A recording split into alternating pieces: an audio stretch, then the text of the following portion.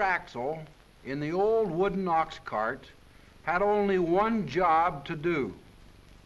In this type of vehicle, the power was supplied from an outside force.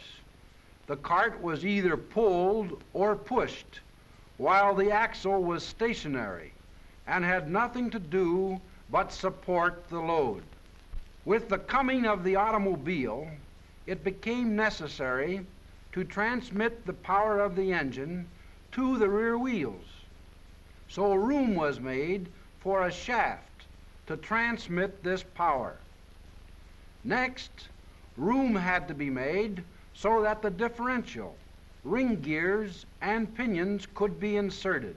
Of course, when this was done, a strong connection had to be made to join the two tubes together. Chevrolet engineers built a strong cantilever bridge across the cut in the axle, making it even stronger than the old solid axle. The three units of the rear axle housing, the bridge, and the two tubes are firmly assembled into one complete sturdy unit. Chevrolet engineers realized that this part of the axle should be easily accessible from the outside. So an inspection plate was placed over the rear of this banjo construction. The rear axle now became merely an axle housing to support the load.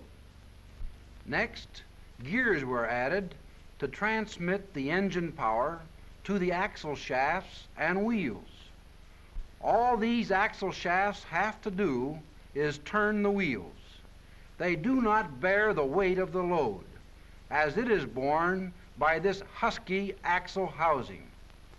One of the outstanding features of Chevrolet's new full floating rear axle is the barrel-shaped roller bearings, which are entirely self-aligning. Because of the barrel shape of these rollers, they form only a small area of contact with the races under normal load conditions, reducing friction to a minimum and keeping the rollers in exact alignment.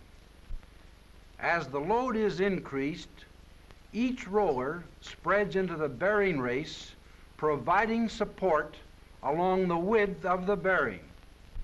When the load is decreased, again the area of contact is decreased so that the capacity of the bearing is always in proportion to the load. This feature prevents the races from becoming grooved, as is common in straight roller bearings, and the bearing life is therefore greatly increased. In order to show you the action of these bearings, this drawing has been greatly exaggerated. Another important advantage of Chevrolet's full floating rear axle is the four pinion differential mounting.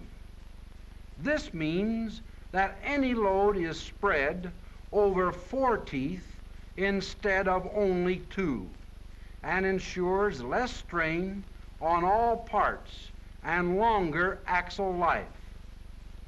In addition, the rear axle housing on the 1936 Chevrolet truck is 35% stronger than last year's housing. In fact, this housing alone is stronger than the combined strength of the housing and shaft in previous models. This new heavier, and huskier rear axle housing with inspection plate, together with the new exclusive self-aligning bearings, combine to make this full floating rear axle the finest axle ever built into a truck. With this construction, axle shaft breakage is extremely remote. But should it ever happen, the Chevrolet full floating rear axle permits easy removal and replacement of either axle shafts without taking off the wheel or removing the load. The design of the axle with the smaller banjo center gives it much greater road clearance, which is another advantage that helps to make this new axle the outstanding development in the 1936 Chevrolet truck.